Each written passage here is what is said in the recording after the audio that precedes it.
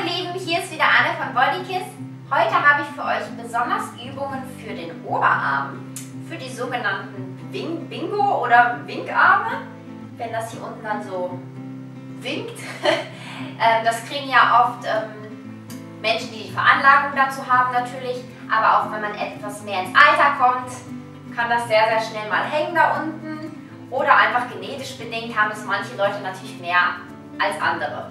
Und da habe ich einfach gedacht, ich zeige euch heute mal sieben Übungen, die man einfach zu Hause machen kann, die auch dagegen vorbeugen, dass es hier zum Wink-Effekt oder zum Bingo-Effekt kommt.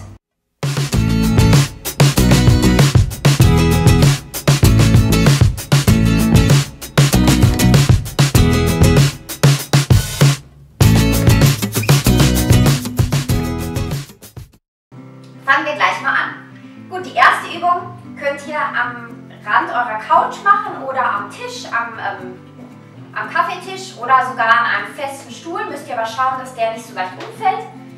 Wir nehmen einfach die Hände und legen die genau an die Kante. Mit dem Daumen Richtung Finger nach unten. Strecken die Beine aus. Ellbogen nach hinten, schön weit zusammen mit den Händen. Nicht so weit auseinander, sondern wirklich nur so breit nebeneinander, wie euer Körper ist. Und dann lasst ihr euch einfach an der Couch entlang nieder, ohne euch abzulegen. Also wir legen uns nicht ab. Und dabei immer schön darauf achten, dass die Ellbogen nach hinten gehen und nicht zur Seite, sondern schön nach hinten und wieder hoch. Und wenn euch das zu schwer ist, könnt ihr auch eure Füße einfach so in Kastenform hochstellen und dann so runterlassen und wieder hoch. Runter und wieder hoch. Das war die erste Übung. Die zweite Übung ist ebenfalls reines Körpergewicht. Wir ähm, setzen uns auf den Boden. Es ist so eine ähnliche Übung wie die, die gerade gezeigt wurde.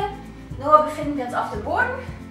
Hände so körperbreit auseinander, mit den Fingerspitzen Richtung Körper gezeigt. Heben uns vom Boden hoch wie eine Krabbe. Und dann lassen wir uns einfach immer runter und hoch.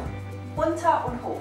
Wenn euch das zu einfach ist, würde ich einfach eine Bein hochstrecken und dann runter und hoch runter und hoch. Und wir darauf achten, Ellbogen zeigen nach hinten. Und dann tauschen irgendwann mit dem Bein und wieder runter und hoch. Das waren die zwei ersten Übungen. Jetzt kommen wir zur dritten. Die ist ein bisschen komplex und sieht auch vielleicht ganz lustig aus. Wir nehmen wieder den Rand unserer Couch oder ihr könnt es auch an einer Fensterbank machen. Da könnt ihr euch noch besser runterlassen. Ich zeige euch das jetzt hier an meiner Couch. Die Hände werden an, an der Kante der Couch aufgelegt, so um die Kante quasi. Wir gehen mit dem Bein auf die Knie und die Hände schön weit zusammen. Und dann lassen wir uns einfach runter mit dem ganzen Oberkörper schön nach unten anwinkeln und wieder hochdrücken. Dabei müsst ihr wirklich darauf achten, dass ihr aus dem Trizeps, also dem hinteren Muskel drückt und nicht wie man es einfach gewohnt ist oder es machen würde mit den Schultern und allem möglichen, sondern wirklich schauen, die Ellbogen gehen nach unten, schön weit zusammen und wieder hoch. Und nicht zur Seite mit den Ellbogen, sondern wirklich schauen, dass die weit zusammengehen und ihr drückt nach oben. So, dann kommen wir auch schon zur vierten Übung. Und die vierte Übung, dazu braucht ihr jetzt ähm, entweder ein Terraband oder Gewichte. Das geht jetzt auf unseren Bizeps. Zeige euch das mal mit dem Terraband. Wenn ihr euch jetzt fragt, oh, ich habe jetzt so kein Terraband und ich würde gerne eins haben, ich verlinke euch das einfach in die Infobox, wo ich meins her habe. Das gibt es ganz einfach bei Amazon, ist kein Aufwand. Oder ihr kauft es irgendwo anders, das liegt natürlich bei euch. So, ihr steigt aufs Terraband, das ihr unten zusammengeknotet habt und dann geht es auf den Bizeps. Ihr haltet es am besten so, wie so eine Handtasche und dann zieht ihr es nach oben mit der Drehung nach unten, wieder hochziehen und nach unten. Von der Seite einmal, so neben eurem Körper und zieht und rotiert dabei euer Handgelenk, sodass die Faust dann parallel zum oberen Arm kommt. Richtig drehen und immer schön gucken, dass das Handgelenk nicht abknickt. Also wir wollen nicht sowas hier sehen, weil das echt schlecht fürs Handgelenk ist, sondern ein schön starres Handgelenk nach oben ziehen wieder runterlassen. Und das macht ihr natürlich für beide Arme. Und mit den Gewichten sieht das genauso aus. Einfach nach oben ziehen und wieder runterlassen.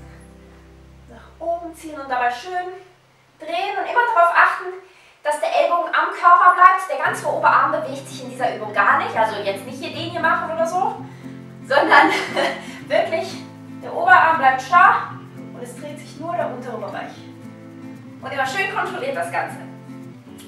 So, die nächste Übung ist auch was für den Trizeps, also für besonders für den Wegbereich. Wir nehmen entweder die Hantel, die ich euch jetzt zeige, über den Kopf.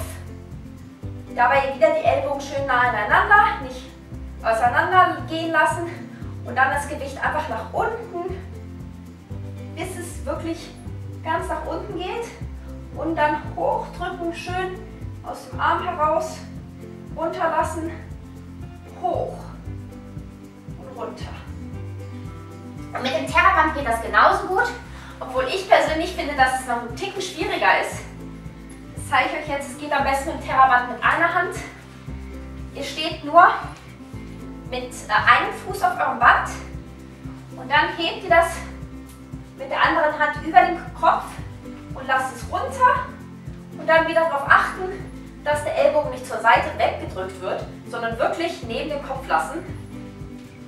Und dann drückt ihr das nach oben. Und ihr werdet richtig merken, das beansprucht sehr, sehr viele Muskeln, dieses Terraband, weil ihr eben kontrolliert das Ganze machen müsst. Und am Anfang werdet ihr bestimmt auch ein bisschen zittern. Das merke ich auch immer wieder, dass man dadurch, dass das Band wirklich runterzerrt, geneigt ist dazu, ein bisschen zu zittern. Aber dadurch werden wirklich komplexe Muskelgruppen beansprucht. So, und jetzt kommen wir zu unserer letzten Übung. Die letzte Übung ist ebenfalls etwas für den Bizeps. Wir stellen uns auf unser Terraband, nehmen es körperweit auseinander und dann ziehen wir das zusammen mit beiden Händen einfach nach oben und lassen wieder schön starr das Handgelenk wieder runter hoch. Und das beansprucht ebenfalls den Bizeps. Und das geht natürlich genauso gut mit den Hanteln. Wir nehmen sie nach oben, lassen immer schön den oberen Arm am Körper und lassen ihn schön langsam runter und wieder hoch. So, das waren meine Übungen für den Bizeps und Trizeps, die immer wichtig sind für eine schöne Haltung, auch für eine Frau damit die ganze Armpartie schön aussieht. Aber auch für Männer ist es genauso wichtig, immer Muckis zu zeigen. Also ich wünsche euch viel Spaß bei den Übungen. Tschüss!